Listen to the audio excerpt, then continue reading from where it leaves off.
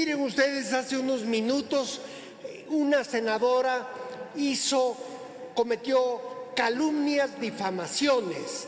De modo que yo voy a proponer a todos los senadores y senadoras que quieran sumarse a esto una demanda penal por calumnias, difamaciones y daño moral al presidente de la República, por tanto a México.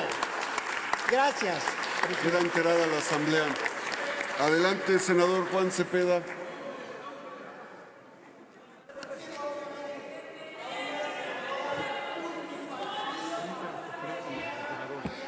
Permítanos, permítanos continuar con el desahogo. Presidente, me parece que es evidente que el senador que me acaba de anteceder quiere tapar la verdad.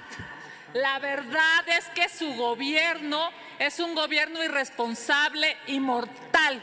Y si las palabras que aquí vienen a decir las legisladoras de oposición no le gustan, corrijan el gobierno porque su gobierno está generando 125 mil muertos. Obviamente ningún legislador ni ninguna legisladora puede ser reconvenida porque aquí se viene a expresar. Ustedes mienten todos los días, lo hacen aquí y en Palacio Nacional y nosotros tenemos que aguantar de manera lastimosa, diría yo, que le mientan al pueblo de México. Señor senador, aguántese, aguántese porque México está aguantando su pésimo gobierno. A la senadora Lili Telles para que dé respuesta a las alusiones personales.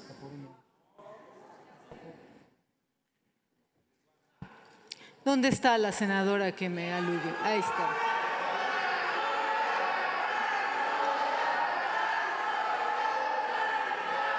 Senadoras, senadores, les invito por favor a guardar respeto a este recinto.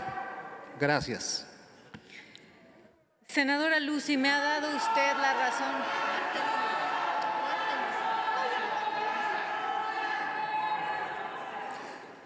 Adelante, senadora Lili por favor.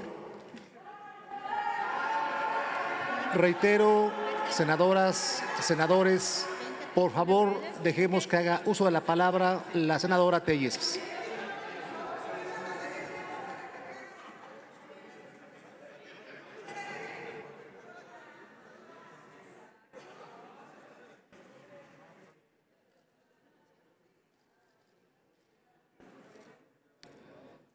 Senadora Lucy, me ha dado usted la razón.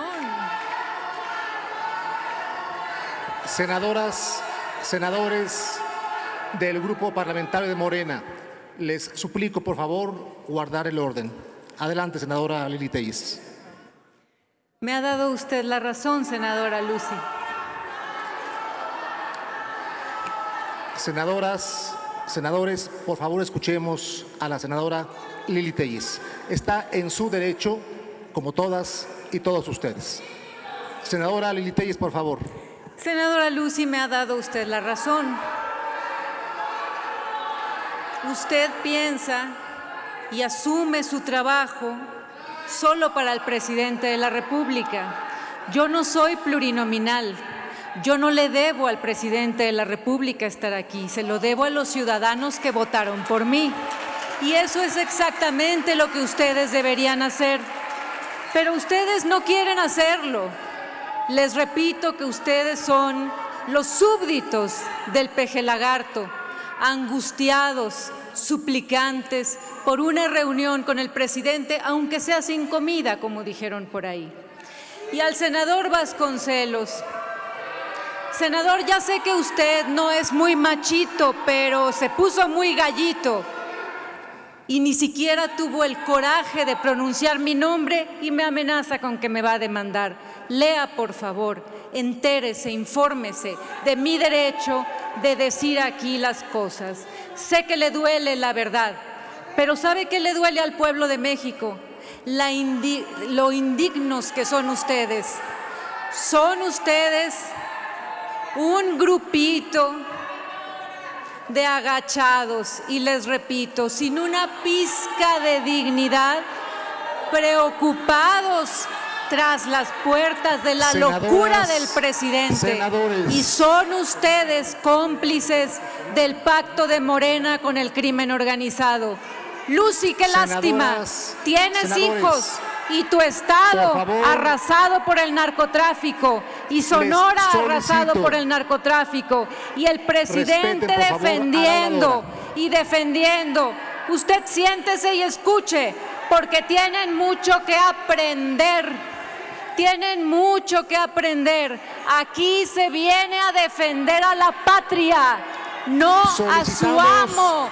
Siéntese, Asamblea, escuche, tengan dignidad, no a la militarización. Con todos ustedes, Senadoras, senadores, permitan que la oradora hermosa.